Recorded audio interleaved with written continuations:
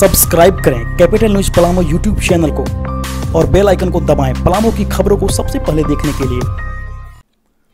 चल रहा घर में ही वसूली। जिनको बनाया रहनुमा, वो भूली। अब जो पूछेंगे तो कहते हैं, मुखिया, मैं तो हूँ मारा गया, मैं हूँ दुखिया। भले ही दुखिया होने का रोना रोवे मुखिया जी, मगर सच ये है कि दुखिया को रुला रहे हैं मुखिया जी। ये बातें हम यूँ ही नहीं कर रहे। ऐसा ही एक खुलासा कर रही है गढ़वा के रमना प्रखंड अंतर्गत बहियार खुर्द पंचायत की जनता। सिरिया टोंगन में घूस नहीं देने पर लाभुक ने अपने हिस्से का आवास, एक सक्षम परिवार को मुहैया कराने का गंभीर आरोप मढ़ा है मुखिया पति कुलदीप राम पर। मुखिया है महिला तो लाजिमी है कि महिला सशक्तिकरण की पहचान तो बनी, पर जीतने के बाद खुद को सशक्त करने के बजाय अपने पति की भ्रष्टाचार नीति को मज़बूत करने में ही भलाई समझ रही हैं। दरअसल पीड़ित लाभुक ने आरोप लगाया है कि आवास के बदले उससे बीस हज़ार रुपए की घूस की मांग की गई थी। रजिस्ट्रेशन कराने के बावजूद रिश्वत के पैसे नहीं देने पर उसका आवास काटकर किसी और को दे दिया गया।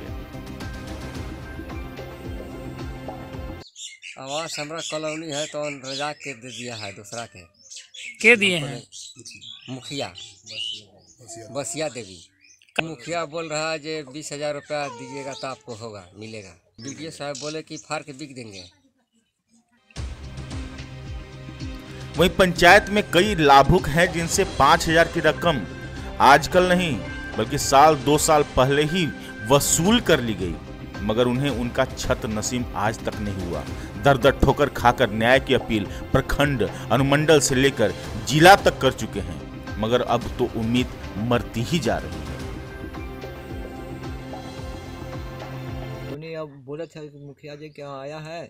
पैसा इतना दीजिए तो हम लोग दिए कर्जा उर्जा खोज करके कितना पैसा दिए? पाँच हज़ार रुपया दिए। पाँच हज़ार दिए हैं। अब क्या कह रहे हैं? अब कह रहे हैं कि अब आ जाएगा तो कल आएगा आ जाएगा कल आएगा ऐसे करते करते दो साल हो गए। हालाँकि मुखिया पति कुलदीप राम के पास अपनी सफ़ाई भी है और पल्ला झाड़ने के अलावा कोई चारा नहीं है। साफ़ कहते हैं आरोप झूठा मूठा है पर पता नहीं गिरेबा में कब झांकेंगे।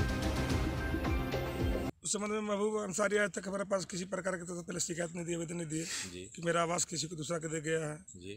आवास के बारे में हम लोग का समसहयोग द्वारा करवाया जा रहा है। आवास हम लोग से नहीं करवाया जा रहा है ठीक है ना? जी। ए डाटा में जिनको है समसहयोग अपना ए डाटा से देख करके आवास करते हैं। इसके लिए हम लोग लिखित भी दिए थे पूर्व प्रखंड विकास पदाधिकारी के। सर आवास देख करके उस- जो आवास में कॉलम का है उस पर दस्तखत करा के सार लोग से कराया जाए। जी। देख करके।